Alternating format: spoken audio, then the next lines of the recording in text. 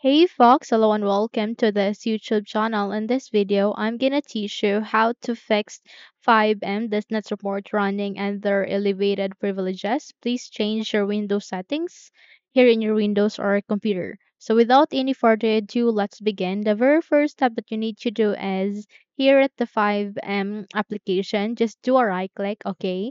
And there you would be able to see a lot of options. You need to proceed to open file location, click on it so the moment you've clicked on it, you will be redirected to the application where the FiveM application is being saved. Just have to select it, okay? Do a right click, and this time you need to go with properties. So the moment you've clicked on it, you would be able to open this small window called FiveM properties where it has these different options. Here you need to go with compatibility. Okay, again, go with compatibility. And under that, you can see a settings. Just uncheck this, run this program as an administrator. Once you have the, unchecked it, apply and then OK. And then simply close this window and try to run your FiveM application again.